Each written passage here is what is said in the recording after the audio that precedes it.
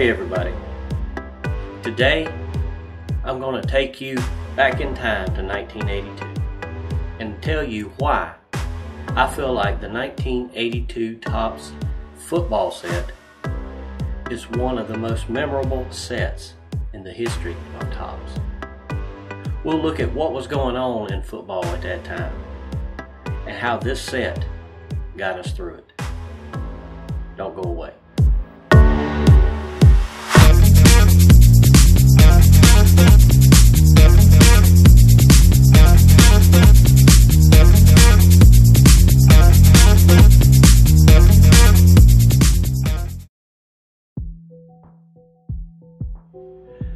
So you may ask, what's so special about 1982 Topps football?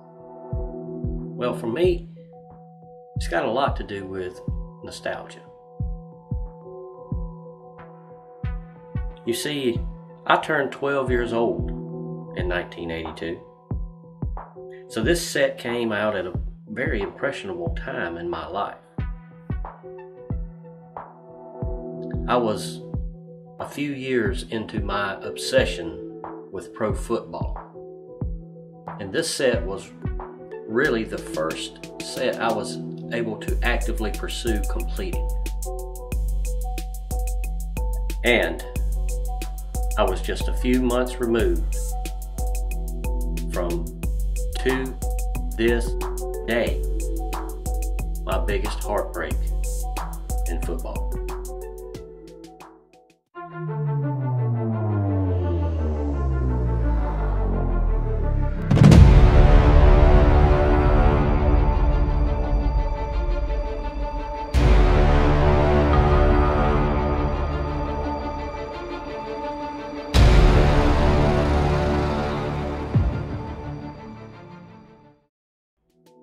Dwight Clark's The Catch and Ray Wersching's converted extra point eliminated my Dallas Cowboys in the NFC Championship game, I was devastated.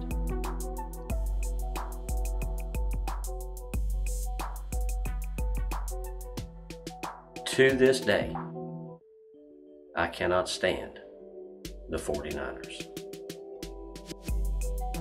But another reason why I like this set so much is because this set was the first set in over a decade that Topps was able to use the team logos on the cards.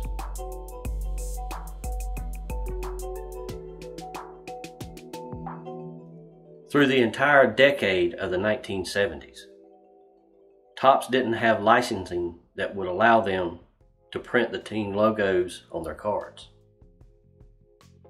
The result was 12 straight years of helmetless players or helmets with the logos airbrushed out. But having acquired said licensing for the 1982 season, Topps rose to the occasion in a big way by including a beautiful team logoed helmet on each and every player's base card.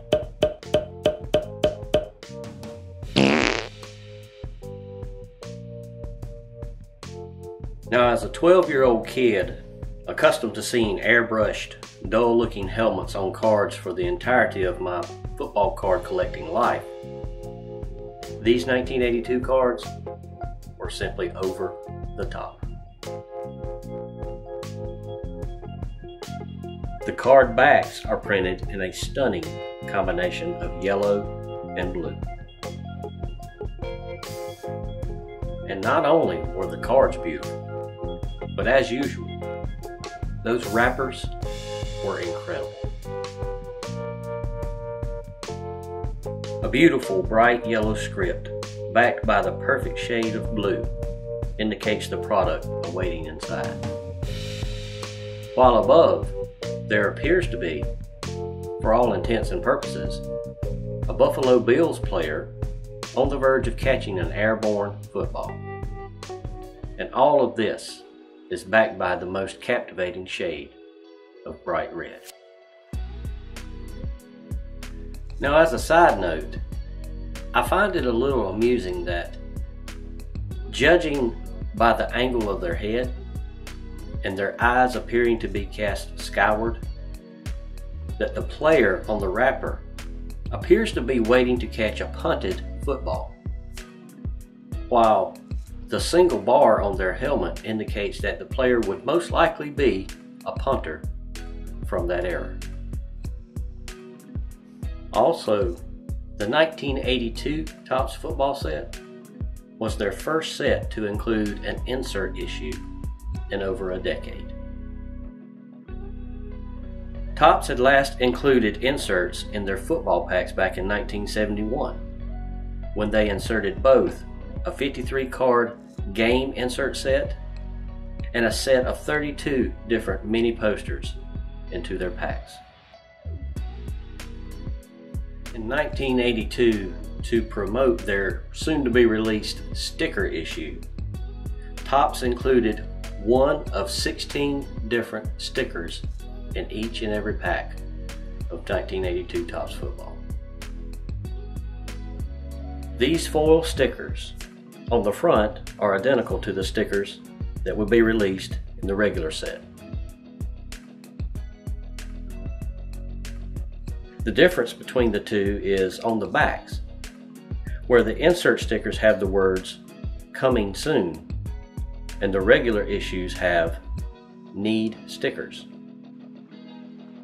And although the set only numbered 16, it included stickers of two of that year's prominent rookies, Anthony Munoz and Lawrence Taylor. And Topps used this small insert set to get in one more 1981 NFC Championship game throat punch to this still grieving Cowboys fan.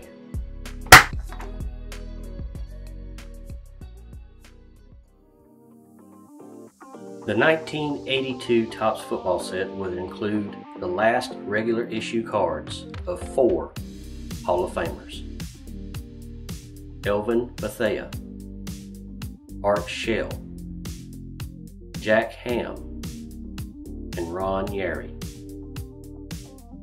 There were 93 rookie cards in 1982 Topps football. Most notably are the rookie cardboards of Anthony Munoz, Lawrence Taylor, and Ronnie Lott.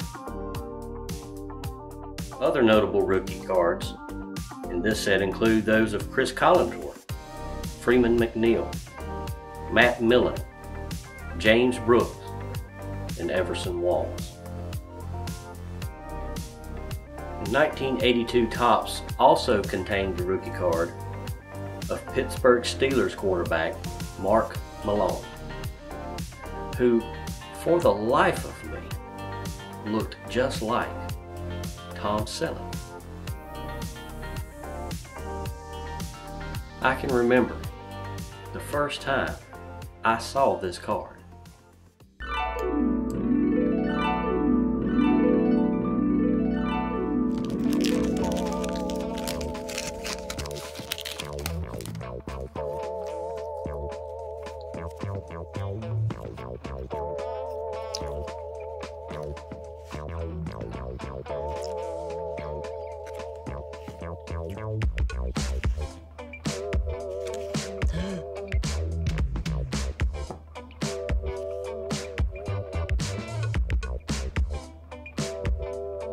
Magnum PI plays football too?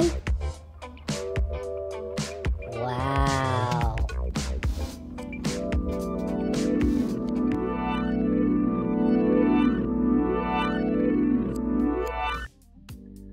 But the resemblance can probably best be seen on Mark's 1985 Topps card.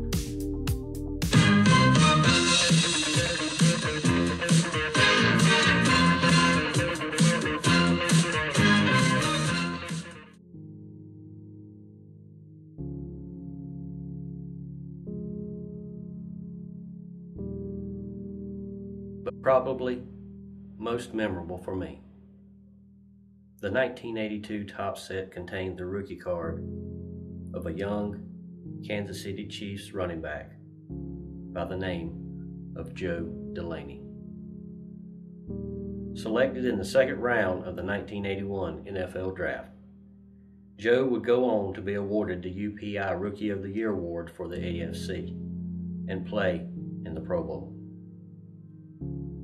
Now, if you've never heard the story of Joe Delaney, it's worth looking up. But here's a brief synopsis. On June 29, 1983, 24 year old Joe Delaney lost his life while trying to save three young boys who were drowning. When it became apparent that the boys were in trouble, despite not being able to swim himself, Joe ran and jumped into the water to help. He never resurfaced after going under. One of the boys managed to make it back to shore unharmed. Another was rushed to the hospital where he would die. The bodies of the remaining child and Joe Delaney were later recovered by authorities. Delaney was laid to rest on July 4, 1983. And on July 15th was posthumously awarded the Presidential Citizens Medal by President Ronald Reagan. The Kansas City Chiefs would honor their fallen teammate during the 1983 season.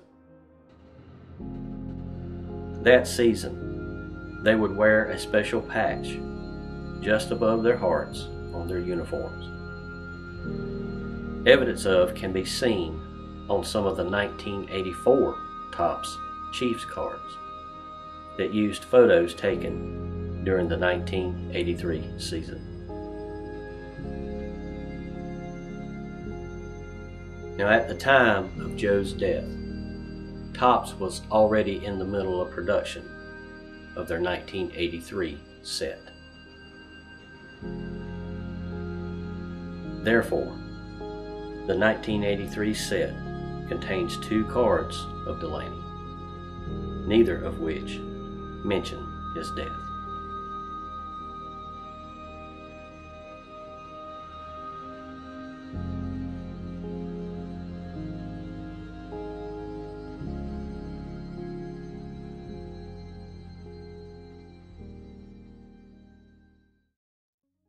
Beginning in 1973, Topps had annually produced a 528 card football set. But 1982 would be the last year they would do that for some time. Beginning in 1983, Topps would reduce the total card count of their sets to 396. This allowed them to print a complete set on just three 132 card sheets. A 396 card set would become the standard for seven years until 1990 when the card count went back to 528. And lastly, this card set carried me through something I had never been through before a player's strike. After playing only two games of the 1982 season, the NFL Players Association went on strike. For eight straight weeks in the middle of the season, there was no NFL football. All I had to satisfy my craving for the NFL was the most recent issued set of Topps trading cards. After the players returned, the remaining schedule was played. And yes, my Cowboys managed to make it to the NFC Championship game again, where they would again lose. This time to Washington. San Francisco 49ers, they didn't even make the playoffs. The 1982 NFC Championship game would mark the 10th time the Dallas Cowboys had played in the game in the game's 13-year history. And it would be the last time they would appear in one for 10 years, effectively bringing to a close an NFL dynasty.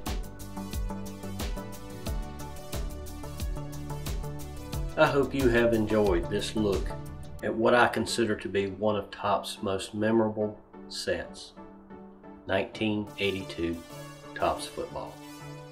The set that keeps me a kid. So, what about you? Do you have a set that automatically transports you back to your childhood? Tell me about it. I'd like to hear. My name's Brandon. Thanks for watching. And until next time,